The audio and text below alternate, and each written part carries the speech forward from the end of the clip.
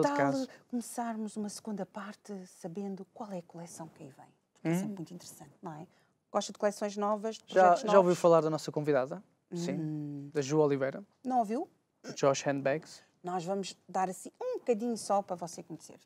Porque nós temos sempre eh, pessoas novas, telespectadores novos, não é? Que gostam de estar connosco e que dizem, ah, depois falam com o vizinho, com o colega, com o amigo, olha, assiste lá amanhãs na TV que eles estão lá e tal. Prontos. Então, ainda não conhece a Ju? Vai conhecer uma pessoa fantástica, com projetos fantásticos e hoje traz-nos mais uma coleção aqui para alegrar a sua manhã e para você também poder adquirir. Exatamente. Então, vamos dar as boas-vindas, Ju. Muito Bom bom, dia, dia, bom mais uma dia, vez. Ju. Seja bem-vinda. E obrigada. Já estava com saudades da gente? Um bocado, já estava, já estava. Já tem um tempinho, né? É Sim. verdade, já passou um tempinho. E é uma, a- Ju Oliveira é uma senhora com uma grande visão, cheia de talento, determinada e conquistadora dos seus sonhos. Olha, É sempre uma coisa que, ah, que é importante para si, não é?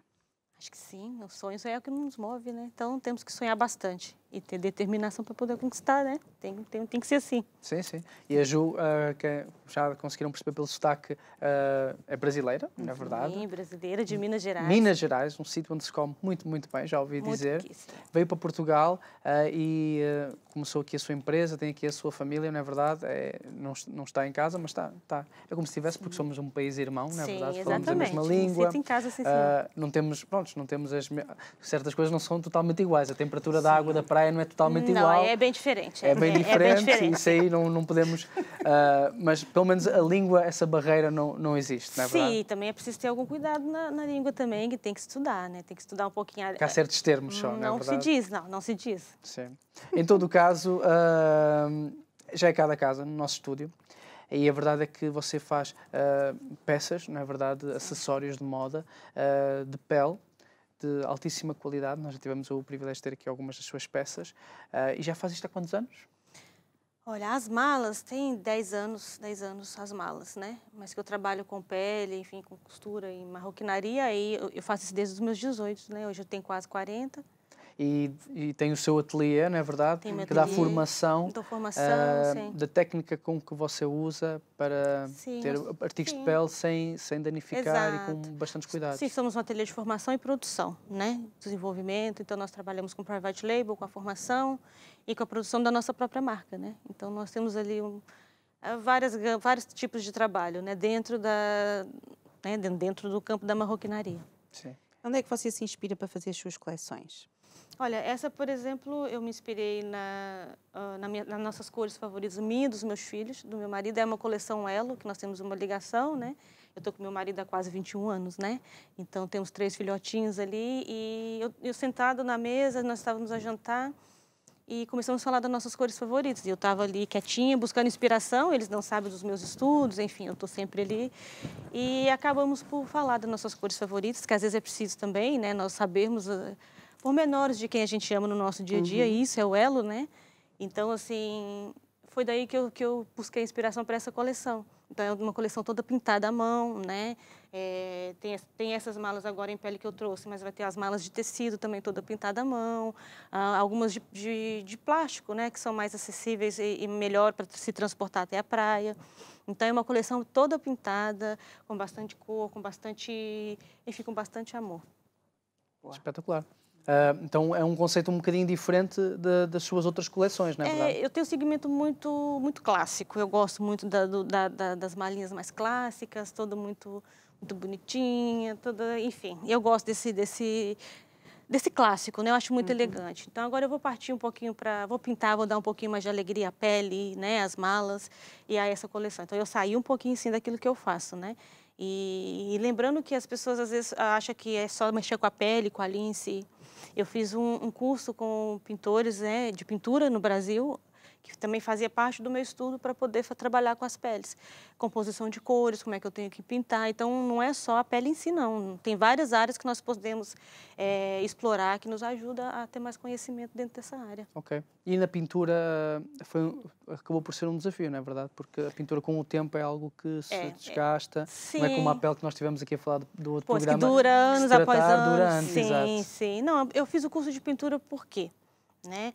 É, uma que a pintora era muito era Carita, né, Diniz lá no Brasil, que, que enfim é minha referência em artes plásticas, né? E, e, fiz esse curso de pintura com ela por quê? Porque nos ajuda a, a entender melhor a composição de cores, né? A, a, a, criar novas cores também, né? Como eu devo pegar no pincel para pintar uma borda de uma pele que é muito fininha, por exemplo, as técnicas, que pincel que eu utilizo, né? O que, que eu posso utilizar? Quais são os tipos de tinta para cada tipo de material? Então, isso tudo nos ajuda, entende? Então, por isso também que eu fiz esse curso de pintura com a Carita, pintei uns quadros ofereci para um amigo africano, ofereci para uma amiga venezuelana, ofereci para amigos brasileiros, portugueses. Então, assim, eu tive bastante tempo para pintar, para poder aprender as técnicas e pronto, não é fácil, né? Tudo que a gente quer fazer exige estudo, né? Sim, sim. Existe, exige conhecimento e, e, pode parecer um pouquinho, ai, não vou fazer isso, é perda de tempo, mas não é perda de tempo não, nós sempre ganhamos experiência. Uhum. Em relação a esta coleção, qual é que são as suas expectativas?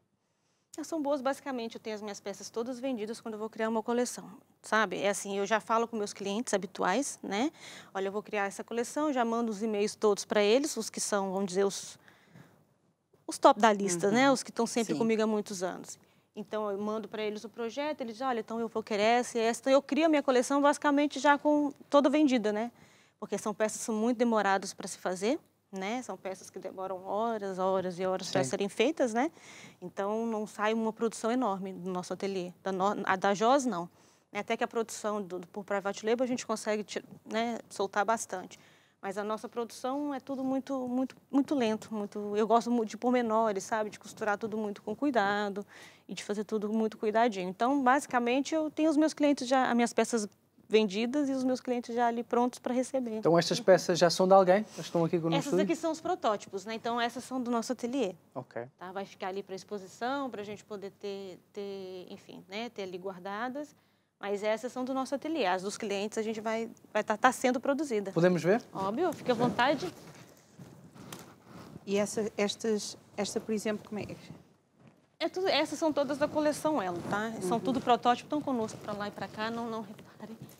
Uhum. Então, isto aqui, tudo pintado. Tudo pintado à mão, sim. Mentira. Trabalhão. É um trabalhão, tem que secar, tem que pintar, é, pinta, seca, aí depois volta a pintar, dá mais uma demão, né? É, aí costura ponto por ponto, aí tem que deixar, pintar as bordas, tem que secar as bordas. E a linha, às vezes, por exemplo, eu não tenho a todo tipo de cor de linha, mas às vezes eu tenho uma, uma cor pontual que eu, que eu não tenho. O que, que eu faço? Aí eu vou fazer, pegar uma tinta para tecido, pegar uma linha branca e vou pintar na, a linha toda na cor que eu quero. Então, eu vou cortando os fios e vou pintando a linha também na cor que eu quero. Então, por isso que o curso de, de artes plásticas às vezes faz bem para a gente também nesse sentido. Por que as flores? Porque a flor é vida, né? É beleza.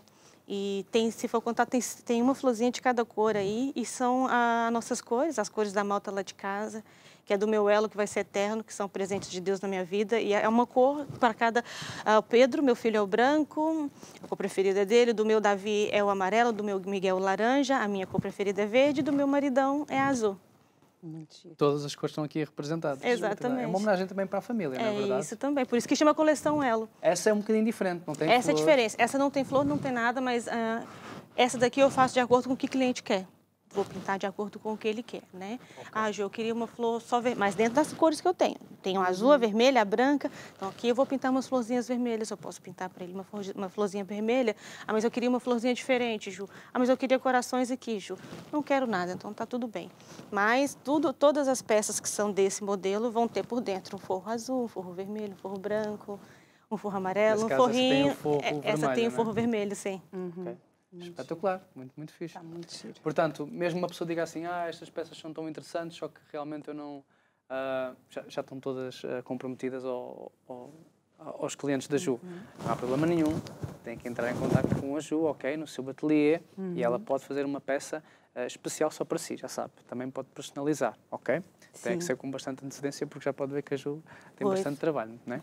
Então isto acaba por ser uma homenagem à família também, não é verdade? À Sim, sua família. também. Eu sempre criei umas coleções baseadas em, em enfim, em alguém, né?